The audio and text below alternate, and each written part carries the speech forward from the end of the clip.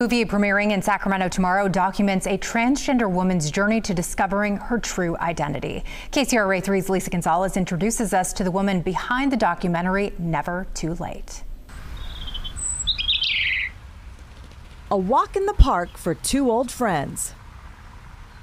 Reuniting, getting to know someone after 45 years, and she is still the same person. The same person with a new identity. I did work for Steve Haskins, and then I was hearing from Stephanie Haskins, and she let me know that she is transitioning. It was three years ago, producer Joyce Mitchell asked to document that journey. Never Too Late is a look into Haskins' life as a transgender woman. It's important that I be able to share my journey and to help other people, hopefully young people. At 76, she became one of the oldest known people to have gender confirmation surgery. My life is very different than it was five years ago.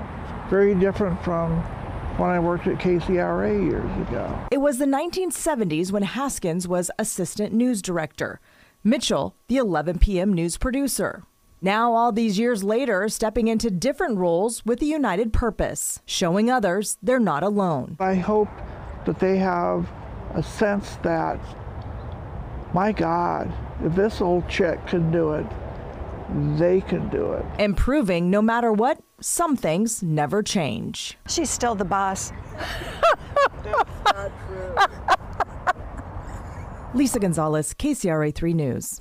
Once a boss, always a boss. Well, the documentary is premiering tomorrow at the Sofia Theater. Tickets are limited. We have a link on our website.